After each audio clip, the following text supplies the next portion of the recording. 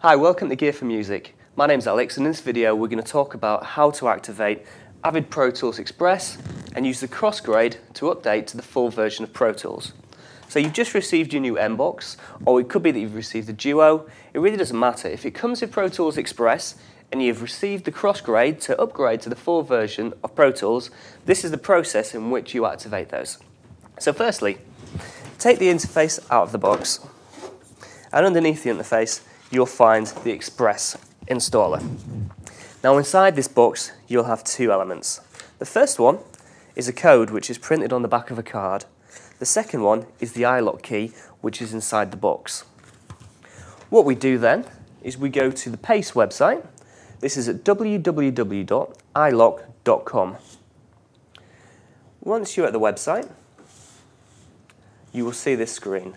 Now in the past, a lot of people used to register by logging into the website and using the browser to actually manage all their licenses. Now they've actually updated the website now. This includes the license manager which can be downloaded and installed on your computer. We would always recommend using this because it, it makes the process a lot easier and it's a lot more advanced. So whether you're using a Mac or PC, whether it's 32-bit or 64-bit, you can install the downloader from here straight to your computer. So what we'll do is we'll download the Mac version because we're using a Mac. That's basically a simple click. That will start downloading. And once that's downloaded, we can install it and run. Okay, so the iLok Manager is downloaded. All you need to do now is go to your Applications folder or to your Programs file on a PC or a Mac and find the application. Here we go, iLok Manager. I'll just double click to open that and the iLok Manager is showing up. The first thing it wants to do is just check to see if there's any automatic updates that it can do. I would just press yes. Right. If you've not used this program before, the first thing you need to do is either sign in or create an account.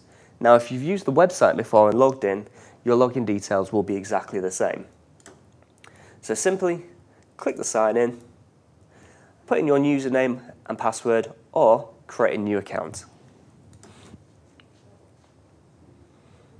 Okay, you can see these are licenses that we've already added to our account. If this is the first time you're using this program, you'll find that this window will be empty. On the left-hand side, you'll see a computer, and you'll see any iLok keys that are registered to your account. Again, if this is the first time you're using it, there will be no iLok keys registered.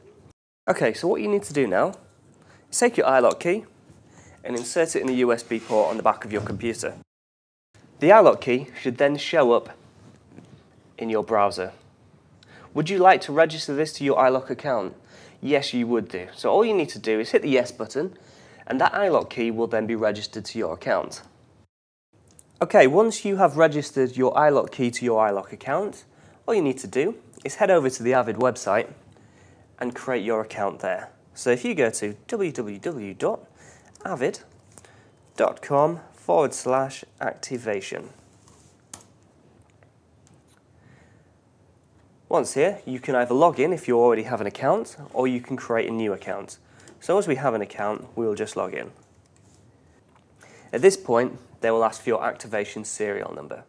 Your serial number, firstly, you'll be activating your Express, will be inside the box, printed on the back of the plastic card enter your activation code into the panel. If prompted for your iLok account ID, this will be this ID that you use to log into your iLok account. Once that has been entered, the software can be downloaded and the iLok license will be added to your iLok account. A double click of each license will show you how they can be stored. They can be stored on an old iLok 1, an iLok version 2, or a computer.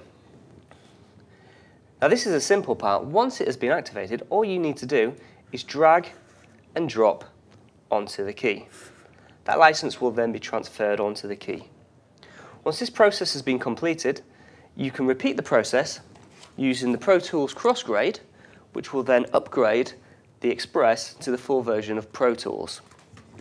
That can then be installed and run on your computer. Remember, once you have added the crossgrade, don't forget to drag the license across into your key. As long as the key is installed on your computer, the software will run fine.